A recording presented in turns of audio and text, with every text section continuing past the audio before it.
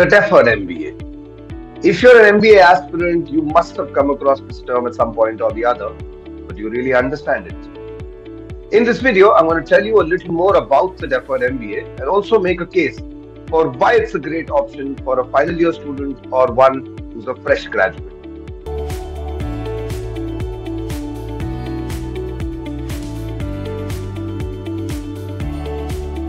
My name is Anand Venkatesan. I'm the founder of mentorscapital.com. We use the power of mentorship to assist students in their study abroad dreams. So I'm going to talk about why the deferred MBA is such a good option, right? But first, what comes to mind when you think of an Ivy League MBA? Well, you're obviously start thinking of some of the top names in management like Harvard, Stanford, Chicago Booth, Yale, Virginia Darden, uh, Berkeley Haas, and many, many other such uh, hugely popular, hugely impressive names. But does the deferred MBA also have that kind of a impressive list? It turns out that yes, most of the top 20 schools in the US also offer the students the deferred MBA option. And not just that, you're also looking at one right down our corner, which is the Indian School of Business. Their deferred MBA option is called the Young Leaders Program. Various MBA uh, B schools have different names for that deferred MBA option. Harvard calls it the 2 plus 2 and, and so on and so forth. But the point remains the same. This is the deferred MBA option that we're talking about that we're going to discuss in this video. Let's know a little bit more about the deferred MBA. Well, the basics are that you join a deferred MBA. It's a two-year fully full-time program and and when you join one you're going to study as part of the full-time batch. It's not going to be a separate separate batch for you guys. You join the main cohort right? So that's one big plus. And you get to join the uh, you know start your mba two to five years after you graduate right? And the expectation is that you get admission in your final year or, or fresh out of college but you get a conditional admit saying that you need to gain a minimum of two years and, and it could stretch as much as five years in the case of some others, right? So, so that's the window that you need to work and then you get uh, to start your MBA program, although the admission is given to you uh, when you apply in your final year of college. That's one big plus.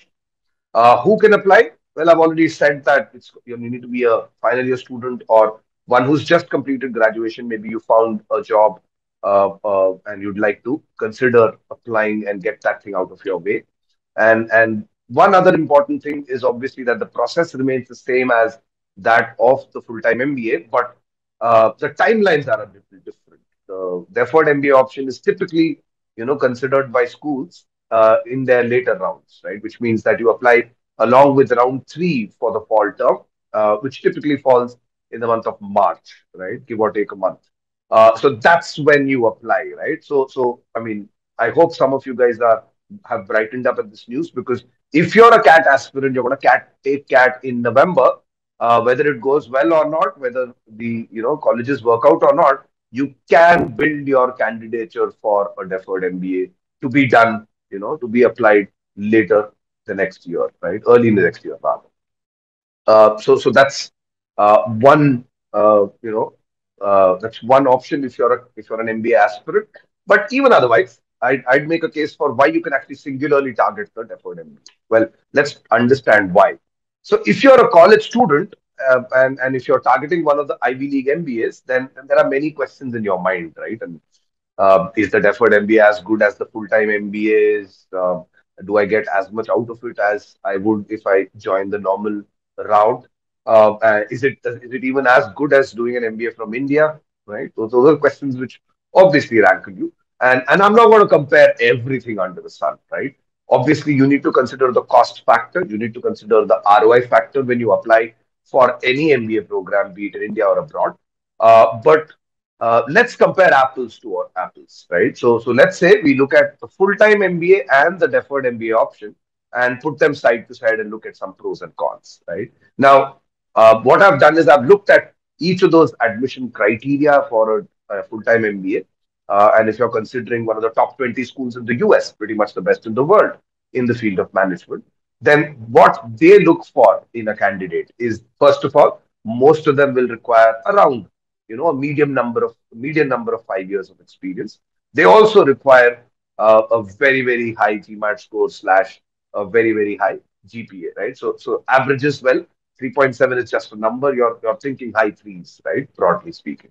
And uh, obviously, just five years of experience isn't enough. Some of the top programs will require that your quality of experience also be great, whether it's a you know top brand you've worked with or or a new startup you know which is doing really really well, or at the other end that you've actually worked in a small setup but have gained a lot of responsibility, right? You've essayed a role which has quite a bit of leadership potential in it, right? So that's uh, the quality of experience and the display of its merit in your application. They also look at, uh, you know, how clear are your long-term goals and how you've sort of planned your career so far and, and how MBA fits into that mix, right? So it's not isolation. There needs to be a plan in place. And finally, they also look at, you know, the leadership potential that you bring to the table because that's the most important at B school, right? They want to see that you have the potential, you have uh, the all-rounder uh, capabilities as well as empathy and, and other things that go into making a truly great leader. So they, they want to see that potential and that impact in your application. Which you'll notice is that, uh, you know, the way I've compared this in this table, most of this comes out of your work experience, right? So, so when you're applying for an Ivy League school, most of your application is going to scream how good your experience was. And, and obviously, one part of it is college, but most of it is work. The deferred MBA, on the other hand, doesn't put so much emphasis on work because obviously you haven't, you know, gained that kind of ex- experience, right? Which means that a you need to gain a minimum of two to three years of experience, right? You don't have to rush through uh, and and apply when you're three years when you have three years of experience. You can apply early and then dream of joining as with as little as three years of two to three years of experience. GPA requirement is pretty much the same, but here's where it becomes different, right?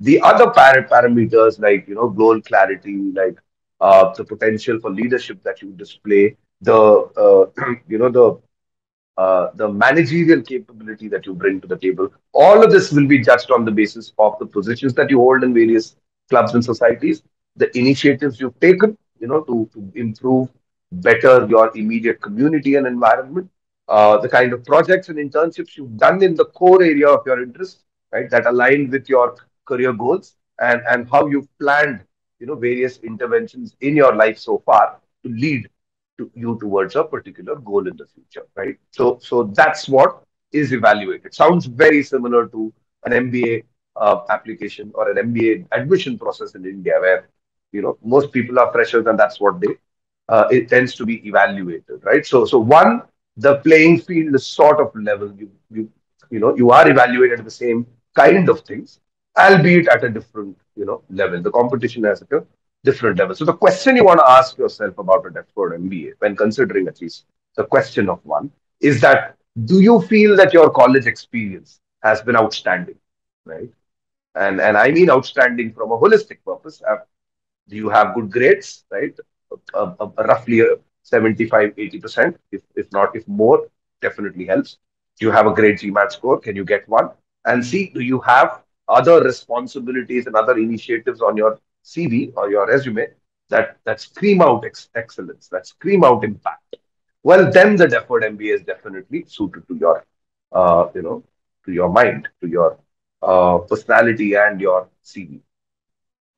Uh, a couple of facts which should further endear the deferred MBA. One, uh, most people I know who go for a deferred MBA tend to plan for it in advance, right? So if you're in your pre-final year, second year, third year of college, uh, start thinking about the deferred MBA early because you get the advantage of you know planning for it ahead of time. Right? There's plenty of time as it is, but you're freer in college, uh, especially in the earlier years. And and if you consider this option early, you can also plan your interventions for maybe one, maybe two years of college, and make sure that you tick all the boxes that the admission uh, you know committee is going to evaluate. That's number one. Number two, you can be better prepared. And I, I mean pretty much the application and the and the testing requirement, right? You you simply have more time uh, applying, uh, you know, preparing for the test uh, than others who will be working, right? So so the full time cohort is going to find it really challenging to take the GMAT, prepare for it. Uh, you, on the other hand, are in college. You have the luxury of time. You can You can get this part done. The score is anyway valid for five years. Uh, so you might as well get the GMAT out of the way and also plan it in a manner where you leave enough time, uh, you know, besides the semester exams and all the work you do in college, you leave enough time to, to prepare your application. Because remember, the applications take time, right? Uh, and number three, the timelines are easier on you, right? The CAT comes in November in India, but if you're applying to a regular B school uh, abroad, let's say the Ivy Leagues in the US or, or somewhere other than the US, then typically the window that you're applying for is, uh, you know, starting from the month of August, September, all the way till about December, Jan, right? The later rounds are obviously can be as late as March, uh, but March is when you apply for your deferred MBA program, right? Which means it gives you an additional three months uh, where you can you can actually add more experience to your CV and, and present it in the application, right? So it's it gives you more time to apply, gives you know gives your makes your job of at least uh, of isolating each of those tasks, profile building to the uh, final application much easier, right? That's why the deferred MBA is great. And if you're still not convinced, I'm going to just throw some numbers at you, uh, and I'm sure at the end of the day you're going to see the uh, real impact. Uh, number one, the Harvard, um, you know, two plus two program. It turns out that the selection rate at a Harvard two plus two is as high as 8.6%, right? Now, uh, you know, it doesn't sound that great. I'm sure it doesn't to you. But the fact is, one in 11 students are getting selected, right? One in 11 applicants are getting selected by Harvard. That's astonishing, right? You wouldn't think getting into one of the top schools across the world would be this easy, right? It's a fascinating, fascinating ratio. So that's number one. It's not as hard as you think, right? Number two, the ratio of applicants, right? For every five applicants to the full-time MBA at Harvard, you have one applicant for the deferred MBA program, right? So, so you're competing against one-fifth the pool and the selection ratio is much, much higher, right? So if this doesn't convince you for a deferred MBA option and you're still considering one of the Ivy League schools in the US, I don't know what else will. Uh, so, so keep that in mind and, and uh, and obviously, uh, start your preparation early. All right. So, so I think I've made my case for the deferred MBA. I'll add more uh, to the story as uh, you know as we go run through the weeks. But quickly, a word about ourselves. Uh, you know, I've told you we are a mentorship platform. We really believe in the power of mentorship and, and would like to unlock it for your benefit. Uh, the way it works is that we have a panel of mentors, right? Uh, actually, 100 plus mentors coming from diverse fields, diverse backgrounds. Uh, so, so we can basically match you with a mentor who fits your profile, uh, and and you can get advice from uh, them about you know their experience and and try to match it with your own, and and I'm sure you'll get specific answers uh, to the queries that you have, right? And when and these are practical answers, these are not uh, these are not coming out of thin air, right? So just visit the platform and try to find one. Uh, well, what we do provide is besides mentorship, we help you with the GMAT preparation.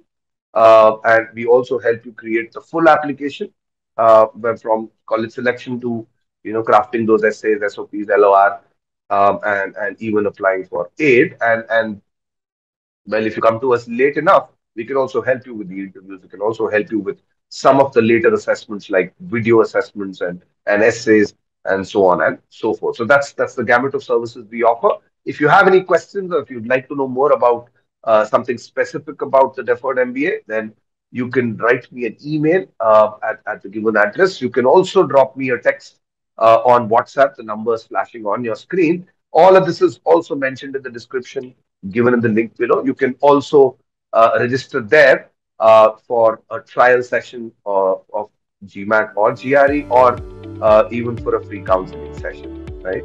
I hope you like this video. Do hit the subscribe button. Do uh, you know, like our channel. And I hope to see you again very, very soon. Thank you.